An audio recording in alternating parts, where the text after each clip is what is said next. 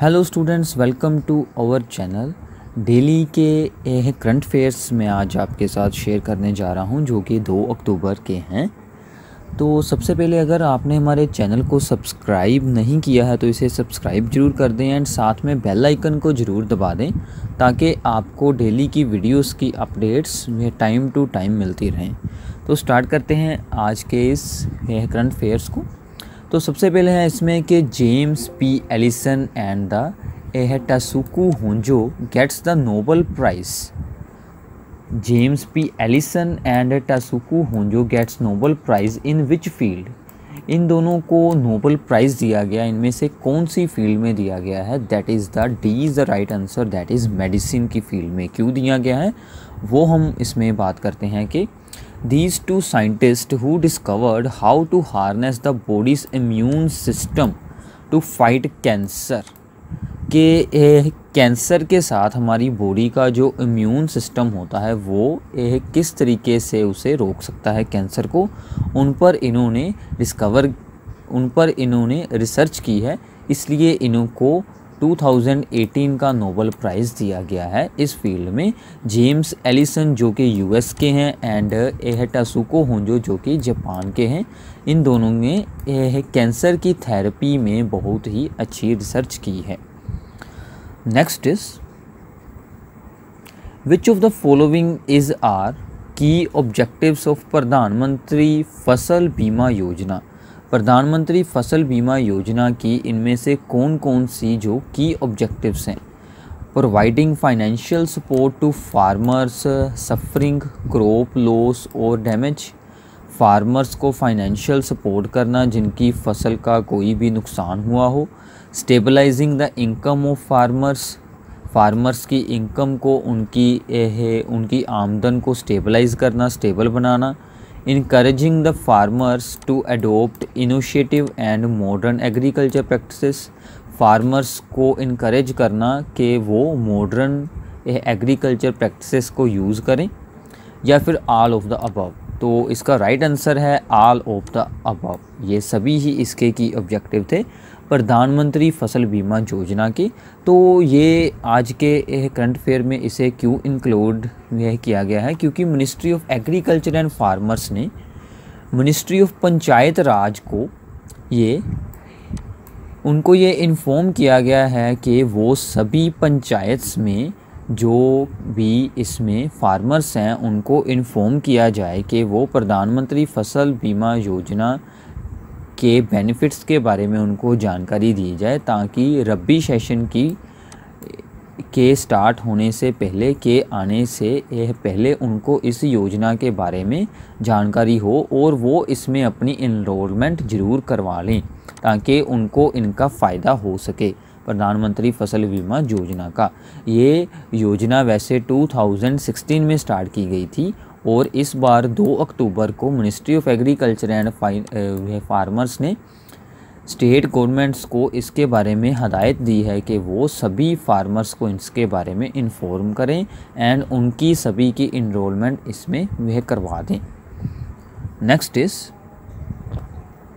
what is the rank of India among the 206 countries in the Great Package Health Warnings according to International Status Report 2018 released by the Canadian cancer society 206 countries में से cigarette के package पर health warnings कौन सा देश सबसे ज़्यादा show करता है? उसमें इंडिया का कौन सा रैंक है?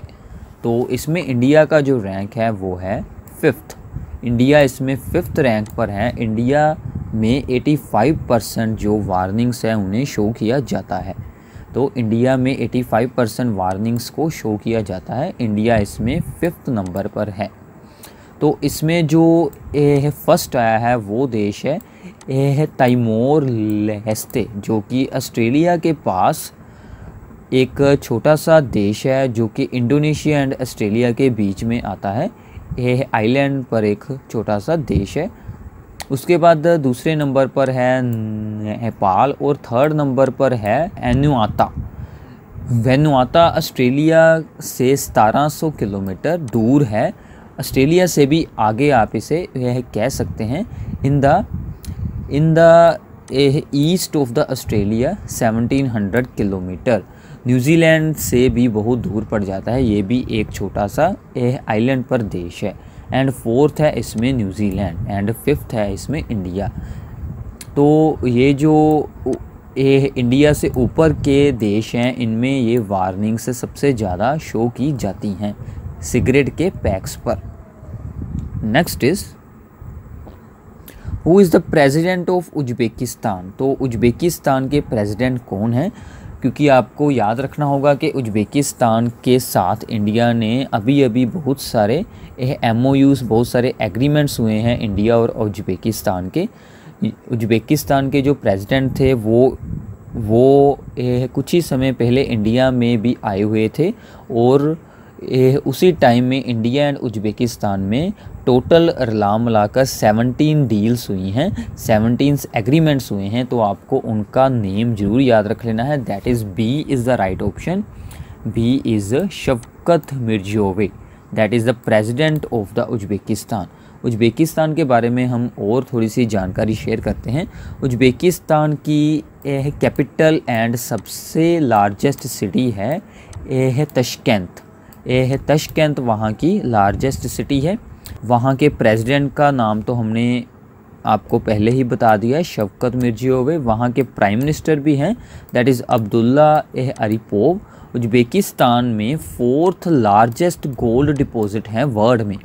उज्बेकिस्तान जो है, वो fourth largest deposit gold deposit है गोल्ड के डिपॉजिट यहाँ पर। पूरे वर्ल्ड में फोर्थ नंबर पर है उज्बेकिस्तान। उज्बेकिस्तान के साथ टोटल हमारे देश के 17 एग्रीमेंट्स हैं जो वो ये साइन हुए हैं। और ये बहुत ही इम्पोर्टेंट है और आपको उज्बेकिस्तान के बारे में ये सभी बातें याद रखनी हैं। नेक्स्ट इज़ ये आपको इसका आंसर, यह खुद यह बताना है, ये एक जीके के साथ रिलेटेड है। इसका आपको आंसर, यह कमेंट बॉक्स में हमारे साथ शेयर करना है। तो मैं आपको, यह कमेंट बॉक्स में इसका राइट आंसर भी बता दूँगा। तो यह है the world's largest landlocked country. Landlocked country, world की सबसे बड़ी लैंड लोक्ड कंट्री इनमें से कौन सी है?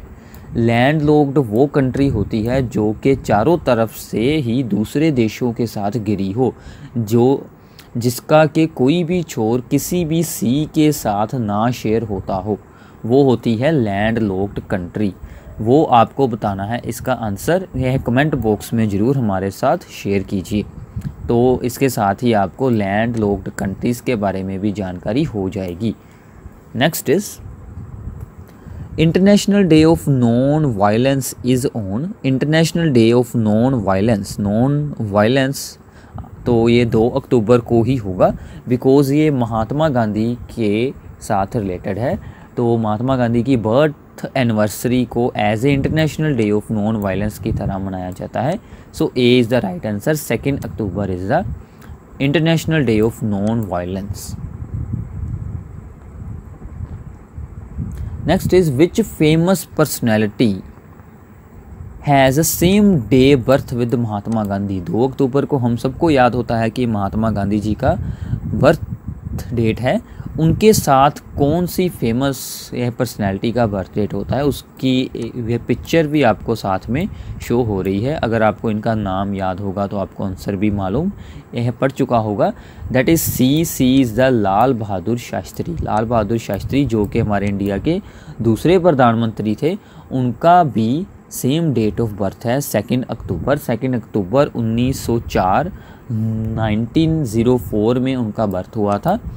मुग़ल है सराय में एंड उन, वो डाई हुए थे 11 जनवरी उन्नीस में उज्बेकिस्तान में। उज्बेकिस्तान में के बारे में हमने अभी आपके साथ शेयर किया था।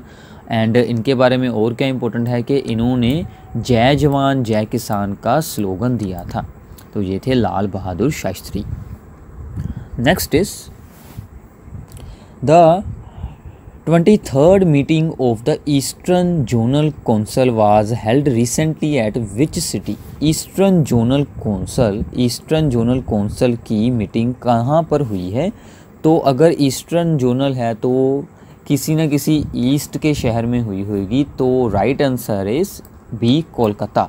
Kolkata में इनकी मीटिंग हुई है। तो आपको eastern zonal council and zonal councils के बारे में जानकारी होनी चाहिए कि ये जोनल कौंसल्स क्या होती हैं। सो जोनल कौंसल्स के बारे में पहले हम डिस्कस करते हैं कि टोटल हमारे देश में फाइव जोनल वह कौंसल्स हैं, जिनमें के east, west, south, north and साथ में नॉर्थ ईस्ट, जो हमारी नॉर्थ ईस्ट की अलग से यह कंट्रीज़ हैं और स्टेट्स हैं, उनके लिए एक यह अलग से जोनल बनाई गई हैं। इनका चेयरमैन होते हैं यूनियन होम मिनिस्टर, जो कि हमारे राजनाथ जी हैं एंड वाइस चेयरमैन होते हैं chief ministers of the states उनको बाय रोटेशन एक एक साल के लिए इसके वाइस चेयरमैन बनाया जाता है।